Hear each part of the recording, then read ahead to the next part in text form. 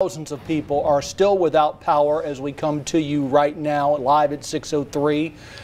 In Attala County, this strong winds knocked down those trees and power lines. WTVA's Chris Knowles, he is live in Kosciusko tonight. He joins us with the latest. Yeah, right now I'm here in Kosciusko, right off of Coleman Street. Now, you can see this down power line right here, as well as some cones. They've actually put these cones up here to prevent people from coming down this street.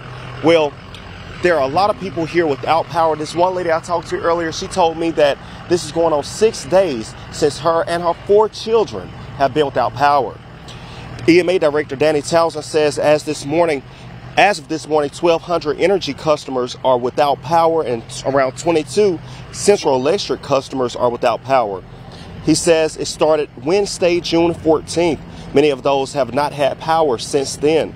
I talked to two victims, one resident, she tells me she works from home and she risked losing her job due to not being able to work. Another lady says she has four kids and she had to send them to other relatives so they would not suffer.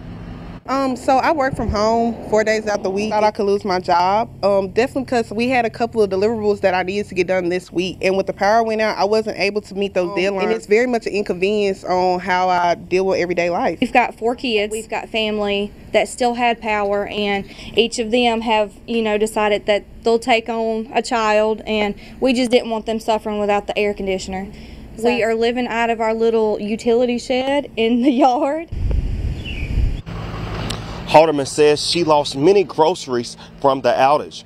Now, I did ask the EMA director, Danny Townsend, about the Entergy's response. He told me that, you know, that they're are they're trying to get things back on, but you know, I told him, I said, this is 2023. These people have been without power for nearly a week now. What's what's happening? What's the holdup? And he said, you know, the storms that came through last night really put a damper in their progress that they were trying to have to get things back going for these folks today. Right now, I'm here in Attala County, Kosciusko. Chris Knowles, WTVA 9 News.